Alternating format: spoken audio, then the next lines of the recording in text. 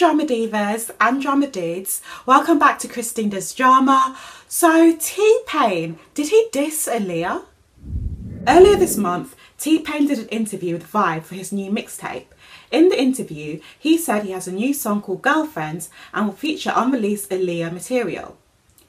During a listening event for Ibo TV, T-Pain justifies his use of autotune after he received backlash by saying, autotune is more popular than ever before. Then he goes on to say the backlash is a result of Aaliyah's lasting legacy, being compared to an arsehole who died and you go to his funeral and say he was the greatest man alive. T-Pain also said if she was alive, people would be accusing her of copying Beyonce. This to me is kind of ridiculous because Aaliyah was very, very popular when she was alive. And I feel like when she died, she was just on the cusp of becoming a worldwide superstar. There was no question in my mind that that was what was going to happen. She was signed on to these new movies, she was releasing new music. She was really at the the real real stage of becoming a real worldwide star. So I'm really confused on why he would say that and then use her music in his music. It doesn't make any sense to me the only thing I can kind of come to the conclusion is that he just said it in the wrong way.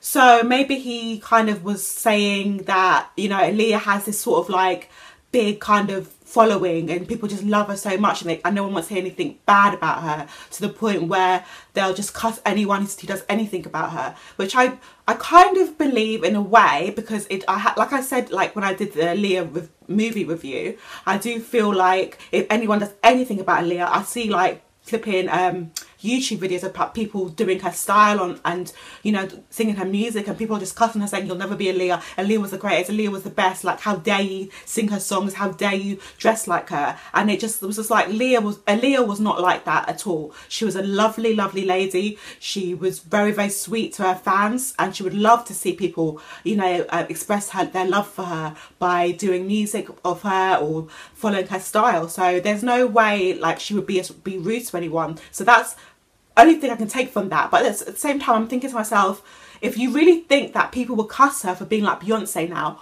then why are you using her music? Why are you promoting her now? You obviously know that she has a great following. People love her a lot. And that's why you're using her music. Otherwise, why not get a random girl to sing on your song?